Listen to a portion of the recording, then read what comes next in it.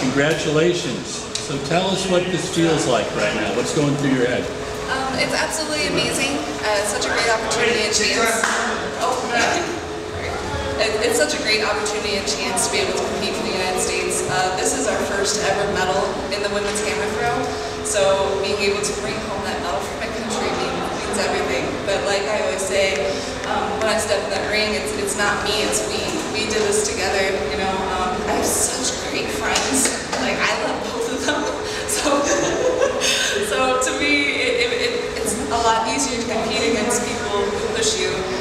Have such great individuals to compete against because uh, we support each other. We make each other better. That's why we did, we did so well because we're friends and we support each other. What did your big throw feel like?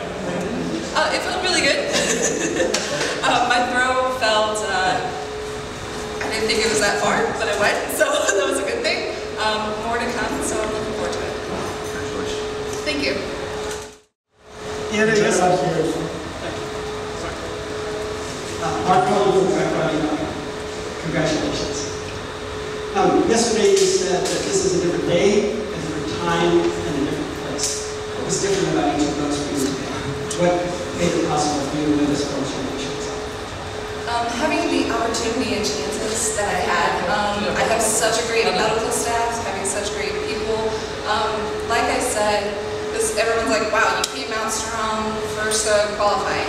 Yeah, that's great, but I've had it before where I did that and I didn't do well in final. So, like I said, every single time that you throw, every time it's different. You, you know, it's never a sure thing. You're going to go in there and you're going to compete the best that you can. And what you do is you give yourself the best opportunity and be able to go in and drive the best that you can. Gentleman here. You can pass the mic. Diana, how you, sorry, I had to keep questioning questions. Uh, congratulations, first of all. I think I read somewhere that you kind of changed your diet, changed everything, changed the way. Why did you decide to do that? Was that the necessary to take the next step? And how, how did you do that? Um, that was because of uh, my husband. You know, uh, we switched training in 2015. Um, I was about 275 pounds. Um, I was really big and I couldn't move fast. So what we decided to do, um, there was this wonderful gentleman. He, he's now passed. His name is Stuart Toger, and um, he goes, "You're too fat." so uh, um, you know, definitely changed my diet. Um, it was a every time I was eating something, I would hear his voice, "You're too fat." So, so, so uh, I changed my diet. I got, I'm down to about 228 pounds now. Um, just trying to be as strong as I can and as fast as I can, and uh, it's been going pretty well. To Joanna now. Joanna, uh, you did your personal best uh, tonight. Uh, tell us about it. I'm very proud of it and uh, I work on this uh, whole year or all my life to be the best on the World Champions. Uh, I got silver and UPB, maybe next year it's gonna be better and I win with Diana. Another question? Diana. again. Jessica Gray from Tracktown USA. Please. Good. Yes. um, you said that you know this was kind of a, a history in the making. This is the first U.S. global medal in the women's hammer throw, um, and I feel like there's kind of a renaissance in hammer throwing um, in the U.S. right now. Because women, you, you know yourself, and women, I mean, it's obviously kind of shooting for the stars. Is there anything that you would want to say to any of the high school or collegiate throwers out there who are kind of hoping that they can living in the throw, or maybe you represent their country and kind of some of the great things that you're starting to do now? Um, like I always say, uh, you never really live uh, off of what you make. You do it because you love it. You do it because you want to represent your country. You want to do it because you're proud of who you are. Um, for me, for all the women who want to be able to take it to the next level, I look forward to seeing you. Keep going, driving. It's okay to be strong. It's okay to be beautiful and have best of both worlds. You know, God made you for who you are. You're meant to shine and to be bright, to be beautiful, to be bold. And to me, um, I look forward for the next uh, female to break my record because I guarantee it's probably going to happen. Uh, I'll ask a question uh, to Miss is uh, Zan, and I will kind your, like your kind translation if you can pass the mic to our this uh, opportunity to uh, compete against uh, the best, and now you're part of our big family, as I see it here. You have very close bonds between you. Uh, what's your feeling about it? 啊，他说，因为呃，在这个世界最高的舞台上，你跟他们一起较量，然后现在也拿到了银铜牌，感受怎么样？挺开心的吧，因为就是我们三个会一起就是去比一 些就是练球的系列赛，然后就是是主要手对手，然后这俩就是就是性格是那种特别开放，那就是特别开朗的性格，然后平时走在一起啊，就是特别开心那种，所以然后就是在一起待倒也没有，倒也没有觉着特别紧张，倒没有觉得特别紧张，觉得小伙伴在一起还是一种聚会挺开心的吧。Yes, indeed. It's just like a family. Because our girls are very nice, very friendly, and we're so happy to compete uh, together. Yes, every time we compete, I, I feel no uh, nervous because the environment is so excellent. So I love it. Thank you very much. Next question, Larry? Uh, Joanna? So Poland has a pretty awesome tradition in the hammer throw, especially the women's hammer throw. What will this mean? So what will they be writing about in the papers tomorrow in Poland about you know? Uh, yes, we have a tradition. We have a world record holder in Poland, Anita Włodarczyk. Uh, she's the best one in Poland, and everyone would like to be like she because she's uh, only one woman in the world uh, which threw uh, 80 meters and more. Uh, in this year, she's not compete here because she have a, a problem with her knee. Uh, but I think she back strong in next year, so we have uh, more competing uh, together. And the point is, uh, I do my history and I do my best uh, this time. If she came here, I think I worked for my bronze medal, but today I have silver. Thank you. Gentleman back there. Dan, sorry. Let's give Same team. Hey, Deanna. Hey, Pete. Congratulations. Um, you know, hammer throwing in the U.S., I don't think I need to tell you, doesn't get a ton of airtime. Um, did you, uh, why did you get into it? I mean, you know, it's sometimes it's not even contested at the same stadium as the rest. You know, just tell me about that whole dynamic and your wanting to change it. Um, I actually, A four-sport athlete in high school, so I did softball, basketball, volleyball, and track and field. When I started track and field, I was actually going to run the 800, um, and I wanted to break my mother's record. I only weighed about 145 pounds uh, my freshman year in high school. Um, but luckily, I held the home run record for Missouri. I think it was 14 home runs to 15 home runs in one season, batting average of 505. Um, had full ride uh, full ride opportunities for softball, and then um, I just did track and field to stay in shape. Um, and what was really amazing was um, after my freshman year, I met this amazing guy. His name uh, was Gary Cooper um, in Missouri uh, for Troy Buchanan High.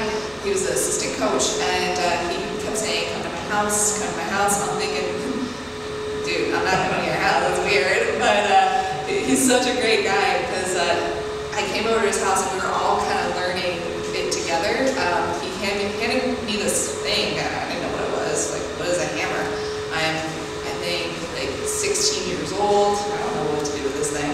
And the first time I wound it around my head, I hit my head with the handle right on my forehead. I remember literally dropping it and saying, I'm never doing this again. I, I was like, I'm done. I'm a world champion. and now I'm a world champion. um, but uh, with much persistence, he kept at me and he kept saying, you know, keep going, keep working. Um, all together, since I did multiple sports, I had about three months of training from my freshman year to my senior year, and I decided to do track and field because uh, they took softball out of the Olympics that year. So I said, "Oh, you know, I, I've been playing softball since I was five years old. I'm gonna get this track thing a go. And uh, you know, I ended up breaking the freshman record, um, and then I ended up being two-time NCAA champion, and then I didn't really sink in that I could compete at an international level until my first world team in 2015. And I remember actually sitting next to Anita, and I was like, oh my god, I'm sitting by someone who does 80 meters. That's insane.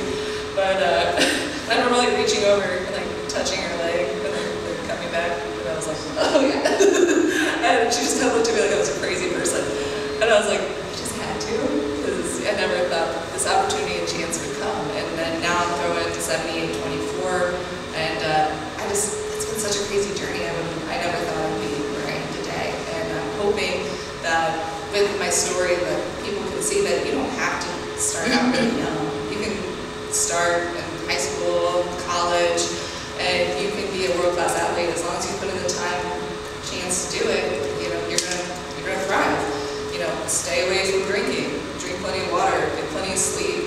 Um, if you want to do it and do it right, go the whole, put 100% into it because uh, when you look back at your past, you're gonna have regrets. That's my question. Coach, you talked about the importance of your coach.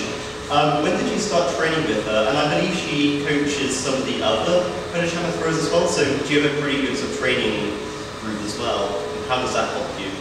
My coach Malwina is best friends. Uh, we meet uh, a lot years uh, ago, I think uh, maybe 15. Uh, I decided after Olympic Games in Rio to change coach because I do with another one and I changed the group. I back to my family sides. And my teammate group is uh, Wojciech the world leader in throw too. So we have a great team, we have a great team spirit already, and that's work. Uh, in our team, my coach uh, do for me the uh, plan for work, but she believed me and I believe for her, for her mind and thinking about the coaching. So I think that's the most important thing to believe to coach and coach believe to you and have a good group for work like me and Wojciech and our physio, our committee and all guys who help us for working. Thank you. Let's take uh, a couple of more questions. Uh, this is for, uh, for Zhang. One of the big stories last decade for China has been your technical event growth, the hammer throw, the discus, the shot. Tell us about how you got involved in the hammer throw. 讲讲你自己的练球故事。这样我答。啊，怎么什么时候开始练习的？然后他说，如果练球很呃投掷很强嘛，就说一说 跟这个练球项目有渊源吧。嗯，这是我们我跟练球的故事。呃，就是我觉得我跟练球最大的不是就是就是从就这些年嘛，然后从小的时候就是一个就是我属于身体条件不是那么特别好的运动员，然后就一步一步走上来，现在年龄也不小了嘛，然后结果就成了我们那批运动员里面唯一的仅仅剩的我一个，我是觉得还比较。就是虽然就说是练了年限也挺长的了？嗯，我是从几岁吧？十十七十七十七十八也忘了具体了，然后就就就练到最后，我就成了我们中国现在就是现在练球运动员里面年龄最大的，然后但是我还是认为我自己跟他们嗯一样小，哎，心态还是什么的都挺好，我觉得我还能再练好几年呢。然后我的具体的故事也没有那么多吧，就是跟他们一起比赛很开心，然后尤其是他俩的性格真的是太好了，他一起不管我们每天说话就是各种夸呀这那那这的，根本就听不明白，但是我们还还在那儿一比赛就特别开心，反正就是感动故事嘛，没有特别多。I began my uh, hammer throw career at 17 years old. I'm not schooling the physical ability when I was young, but I'm so lucky that now I'm not so young. I'm maybe the oldest. I'm the future, but I'm lucky to be uh, now number one in Asia. Uh, so I'm very lucky. And uh, uh, although I, I'm not so young, but I have a very young heart. Yeah. One of the elements for me to to uh, stick to the hamster is to compete with such kind of girls. I like them so much because every time, uh, yeah, yeah, they have good. Uh, yeah, I'm very happy to compete with them. So every time I'm eager to compete with them. So that is uh, really, uh, one of the aim for me to stick to the hamster. Thank you. I think we'll get one last question because the ladies need to rest a bit. Two last questions, then. I'll, I'll be really quick. Thanks, man. Um, you're pretty overcome with emotion, Deanna, when, when the moment you, you realized you were a world champion. What, what, what were you feeling in that moment that really just kind of overtook you and you know, your team started to flow? What, what did it feel like? Um, for me, it was, I, I can't even really explain it. Um, because like I said, earlier this year, I didn't even think I was going to be able to compete. I thought that I was going to stop. Um, I was not about to come and only throw 66 meters, 67 meters. Um, beginning of the year, I was throwing 60, I mean 76, 77 meters. I was going great, and in about four weeks, all my numbers dropped about 40 to 50 feet. And um, all I remember is me and my coach were looking at each other thinking, what just happened?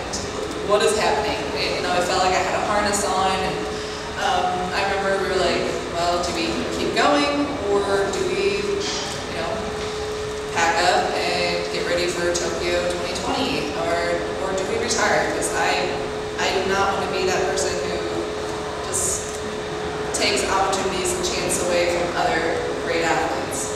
And so um, I remember it was a lot of crying and a lot of pain, but fortunately I met an individual, his name is Brian Murr, um, and he straightened me out, fixed me up. He put me back together with duct tape and baling wire. So um, honestly, I have two weeks off. I'm going straight to Indiana and going to be working with him just to kind of make sure everything is good and right. And honestly, at that moment, knowing that you know season was done, I'm coming away as a world championship. Um, it was more of thankful tears of support that I get from so many different people and to compete against such great individuals. So for me, like I say, um, whenever I compete, when I throw, it's never me, it's we. One last question. Diana, you're a world champion and your life just changed. In what ways, how do you think it's changed? In what ways do you think it's changed? How do you see it in your future? And how will you take advantage of the platform that this wonderful achievement has given you? I hope I don't change.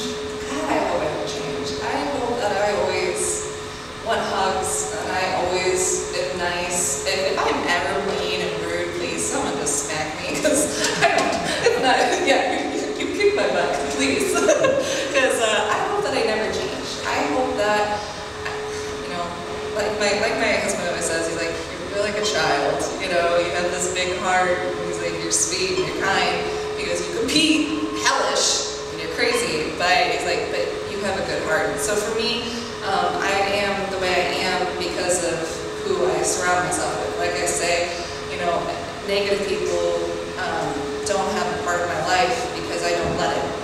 I surround myself with such great, wonderful people, and I couldn't be more thankful for the people who I let into my life. You know, um, when you have a negative person within your life, it, it drains you. It makes you exhausted and tired. So, you know, I always say I appreciate you, but I have to move on. And it's time to be better. And it's time to grow. And you know, I try my best to help anyone that I can.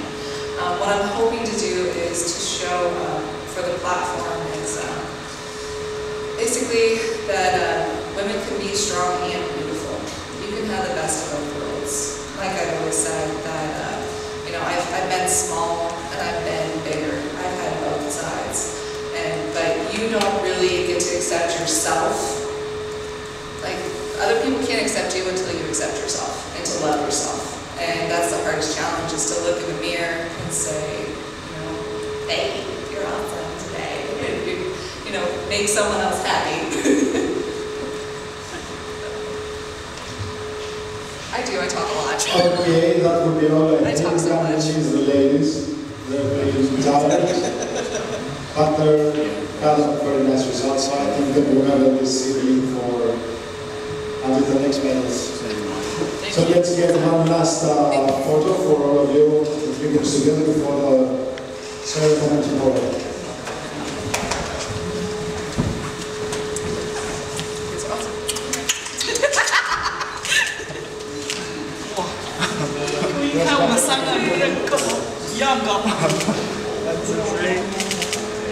注意